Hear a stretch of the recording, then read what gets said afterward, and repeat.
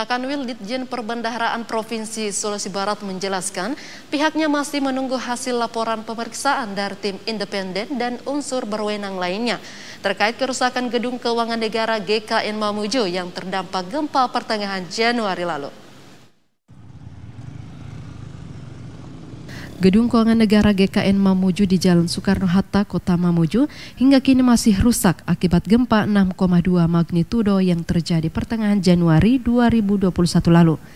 Walaupun tidak menimbulkan korban jiwa akibat kejadian itu, namun struktur gedung yang selama ini menjadi pusat pelayanan keuangan negara ikut rusak dan tidak memungkinkan dilakukan pelayanan tatap muka kepada stakeholder. Walaupun kejadian gempa sudah berlalu enam bulan lamanya, belum terlihat rehabilitasi menyeluruh terhadap fasilitas negara gedung GKN Mamuju. Terkait kondisi terakhir gedung berlantai 5 ini, Kepala Kantor Wilayah Direktorat Jenderal Perbendaharaan Provinsi Sulawesi Barat Imik Eko Putro menjelaskan, pihaknya masih menunggu hasil laporan menyeluruh dari tim independen dan unsur terkait lainnya yang berwenang memeriksa struktur gedung GKN Mamuju. Menurut Kakanwil, gedung yang dibangun dengan difungsikan sejak tahun 2010 ini diakui rusak parah akibat guncangan gempa dan dinilai riskan jika ditempati dalam kondisi saat ini. Memang terpapar oleh gempa Januari yang lalu. Nah, saat ini masih dalam proses penelitian eh, mendalam eh, oleh lembaga independen.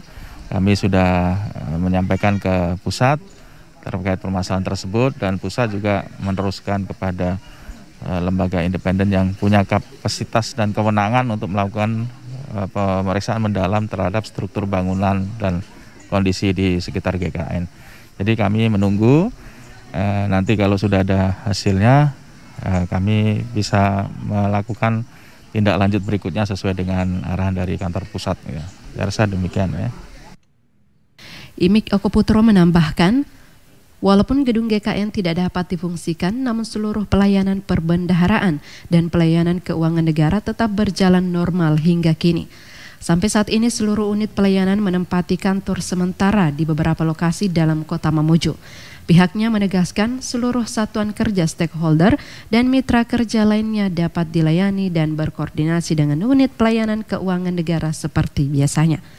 Walaupun dalam kondisi yang tidak normal, usai kantor utama GKN rusak, namun IMIK memastikan semua pelayanan dan penyelenggaraan keuangan berjalan baik. Rezaldi Safitri melaporkan.